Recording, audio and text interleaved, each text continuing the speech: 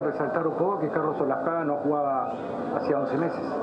Después de 11 meses ha vuelto nuevamente al fútbol profesional. Y, vino bien, vino bien, tuvo un buen inicio y esperamos que con, la continuidad que, corresponde y él la va a provocar, eh, encuentre ese, nivel que, que al final va a ayudar a sumar al equipo también. Mira, no nos podemos confiar, tampoco yo lo dejo creo que al razonamiento de, las personas y yo no me puedo, no te voy a decir si estuvo bien o estuvo mal. Creo que queda criterio de, las personas, ¿no? O sea, lo que sí creo que no, no hay de confianza. Hay que saberlo proteger también, hay que saberlo proteger a Matías. Eh, creo que con la llegada de las cuadras, por ahí está, ya llegó un delantero uruguayo, Facundo González, ¿no? está Fabricio Cabrera, que, está jugando, jugó frente, entró en el partido con Alianza.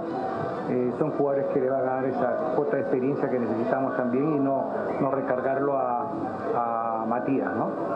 Así que bien por ese lado. también quiero destacar o sea, a todo el grupo en general, pero creo que hoy Rivadeneira hizo un buen partido. Creo que hace tiempo viene tapando bastante bien.